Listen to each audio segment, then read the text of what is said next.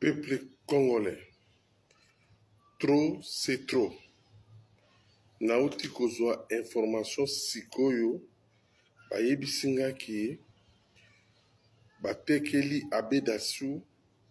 Abedachou hotel inverse oyo ya cite de la voix du zaïre bapesi ye lisusu immeuble wana ya la voix du zaïre arehabilite yango avanda na yango pendant 30 ans avanda na hotel investe pendant 30 ans yango wana nasengi na bamapinga na biso nasololi na colonel nanga natuni ye apesa ngai baeclaircissement vrai ya makambo oyo alobaka ya baccord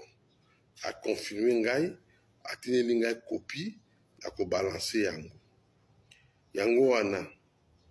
tokoki koaccepte jamais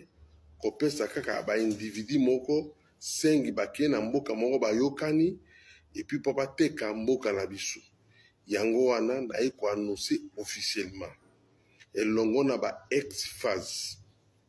En tout cas banda lelo boyeba ke tosali mouvement ya rebellion pour la liberation totale ya République démocratique du Congo. Moto nyonso ayebaki ngai, moto nyonso azoluka komona ngai, komona ngai lisusu te bandalo na minute oyo naza kobunda bitumba ya nzinga nkuvu pour la liberation totale ya République démocratique du Congo elongo na banoko na ngai ya exifaz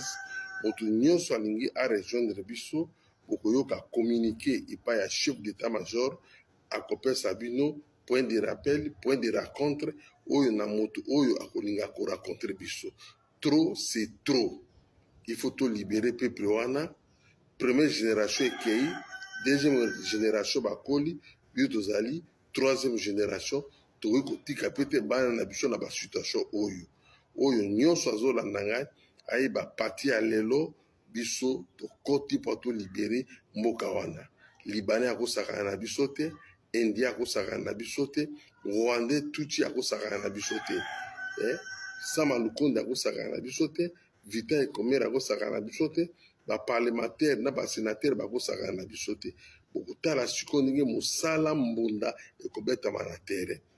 merci beaucoup peuple bozala na kimia banda lelo tosali mouvement na biso mouvement armé pour la libération totale ya république démocratique du congo toyei koannonce yango officiellement tosali yango mpona tozali badefenseur ya droit de l'homme